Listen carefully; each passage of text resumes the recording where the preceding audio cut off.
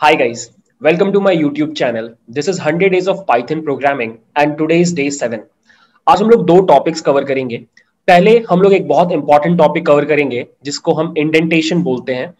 और फिर हम लोग एक सेकेंड टॉपिक कवर करेंगे which is like quite famous in all of programming it's called if else statements इस वीडियो में हम लोग पहले इंडेंटेशन के बारे में पढ़ेंगे और नेक्स्ट वीडियो में इफ़ एल्स के बारे में। So let's start the video so guys अभी तक हमने बहुत ज़्यादा कोडिंग तो नहीं की है। हम बहुत ही बेसिक लेवल पर हैं। पर आई गेस आपने दो चीज़ें ऑब्ज़र्व की होंगी स्पेशली अगर आपने पहले किसी और प्रोग्रामिंग लैंग्वेज में काम किया है। और वो ऑब्जर्वेशन ये है कि पाइथन दो चीज़ें यूज़ नहीं करता बाकी लैंग्वेजेस की तरह। और वो क्या है? पहला सेमीकोलन और दूसरा करली ब्रेसेस ये दोनों चीज़ें बाकी प्रोग्रामिंग लैंग्वेज बहुत ज़्यादा यूज़ करती हैं to specify a block of code मैं आपको एग्ज़ाम्पल से समझाता हूँ।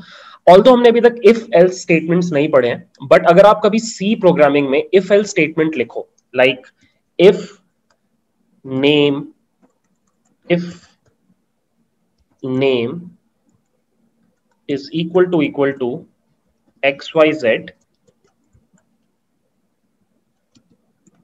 something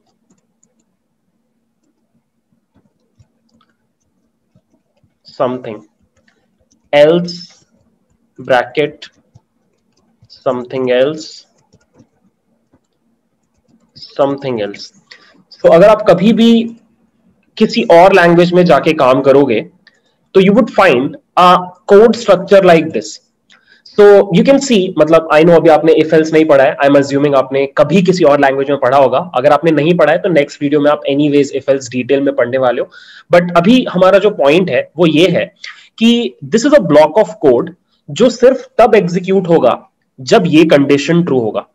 And this is a block of code ये सिर्फ़ तब एग्जीक्यूट होगा, जब ये कंडीशन फॉल्स होगा। ये दोनों चीज़ें साथ में नहीं हो सकती राइट right? तो अब this is a code block it is a block of code जो एक स्पेसिफिक टाइम पे एग्जीक्यूट होगा line by line and this is also a block of code तो इनको अलग रखने का तरीका क्या है बाकी लैंग्वेजेस में, कि आप ब्रैकेट्स यूज़ करते हो। और हर लाइन खत्म हो गया ये आप कैसे बताते हो? यूजिंग सेमीकोलन टर्मिनेशन ठीक है? But Python is different Python में आ, ये ब्रैकेट्स और इन सेमीकोलंस का कॉन्सेप्ट ही नहीं है ठीक है? इनफैक्ट ये वाले ब्रैकेट्स का भी कॉन्सेप्ट नहीं है. Python is more like it's it's written in English मतलब इंग्लिश में आप जिस तरीके से लिखते हो उसके बहुत क्लोज है ठीक है? मैं आपको ये सेम कोड पाइथन में लिख के बताता हूँ. पाइथन में ये कोड होगा if name is equal to equal to X Y Z और जैसे ही मैंने यहाँ पे कोलोन लगाया टू स्पेसिफाई कि मेरा इफ़ कंडीशन खत्म हो गया, और मैं जैसे ही एंटर मार रहा हूँ यू कैन सी मेरा जो कर्सर है, वो कहाँ पे ब्लिंक कर रहा है। कर्सर यहाँ पे नहीं है कर्सर यहाँ पर है। इस स्पेस को हम बोलते हैं, इस स्पेस को हम बोलते हैं इंडेंटेशन ये जो गैप है, इसको हम बोलते हैं इंडेंटेशन और ये कैसे मिलता है आपको? ये ऑटोमेटिकली फ़र्स्ट ऑफ़ ऑल आपको दिख जाता है बट अगर आप कभी मिस कर जाओ तो you can what you can do is you can just press a tab अपने कीबोर्ड पे टैब की को आप जैसे ही प्रेस करोगे, आप इस पोजीशन पे पहुँच जाओगे. नाउ यहाँ पर you can write any number of lines any number of lines और फिर अब आपको एल्स में अगर जाना है तो आप फिर से बैक स्पेस करोगे और इफ़ के ठीक नीचे आ जाओगे एल्स का कंडीशन कैसे खत्म होगा? कोलोन लगा के और फिर आप यहाँ पे line one line two line three लिख सकते हो। तो ये हो गया किसी भी और प्रोग्रामिंग लैंग्वेज में और ये हो गया पाइथन में, ठीक है? यहाँ पे भी अगर आप नोटिस करो तो आपने इंडेंटेशन दिया है, क्योंकि इंडेंटेशन देने से कोड का रीडेबिलिटी इंहांस होता है। बट अगर आप चाहो तो नहीं भी दे सकते हो। ये कोड बहुत इजिली एग्जीक्यूट हो जाएगा। ये भी कोड एग्जीक्यूट हो जाएगा। बाकी लैंग्वेजेस को इंडेंटेशन होने या ना होने से कोई फ़र्क नहीं पड़ता। बट सिंस पाइथन में ब्रैकेट्स का कोई कॉन्सेप्ट नहीं है indentation is the only way to detect a block of code ठीक है? सिर्फ़ ये इंडेंटेशन से ही समझ में आ रहा है कि ये पूरा ब्लॉक ऑफ़ कोड इफ़ के अंदर है। और ये पूरा ब्लॉक ऑफ़ कोड एल्स के अंदर है। ठीक है? अगर आपने यहाँ पे गलती किया, आपने अगर इस तरीके से कोड लिखा तो it will not work in fact मैं आपको दिखाता हूँ। Print line one and print line two ठीक है? और यहाँ पे फ़िलहाल मैं लिख देता हूँ। प्रिंट लाइन थ्री ठीक है? And you can see already मुझे इंडेंटेशन एरर मिल रहा है लाइन वन के ऊपर, क्योंकि वो बोल रहा है कि ये ब्लॉक मिसप्लेस्ड है, ये सही जगह पे नहीं है। बट मैं जैसे ही टैब डिफाइन करूँगा और एंटर मारूँगा बाय द वे नेम का भी कोई वैल्यू है नहीं नेम का कुछ वैल्यू दे देते हैं। लेट्स से हमने 244 दे दिया। तो अब लाइन थ्री एग्जीक्यूट हो रहा है, क्योंकि ये कंडीशन फॉल्स है और ये लाइन प्रिंट हो रहा है। But I guess you get the idea अगर आपने इसको कहीं भी और लिखा, अगर आपने यहाँ भी लिख दिया, मान लो एक और एक्स्ट्रा टाइप टैप प्रेस कर दिया तो भी आपको इंडेंटेशन एरर आएगा। पाइथन में सही कोड लिखने का सिर्फ़ एक ही तरीका है कि आप एकदम सही जगह पे टैब लगा करके कोड को लिखो। अब मैंने क्लासरूम सेटिंग में बहुत बच्चों को पढ़ाया है और मैंने देखा है कि बहुत बच्चे शुरू शुरू में इस कॉन्सेप्ट से स्ट्रगल करते हैं। इंडेंटेशन वो सही से नहीं देते हैं और फिर पाइथन में उनका कोड एग्जीक्यूट नहीं होता है और वो फ्रस्ट्रेट होते हैं।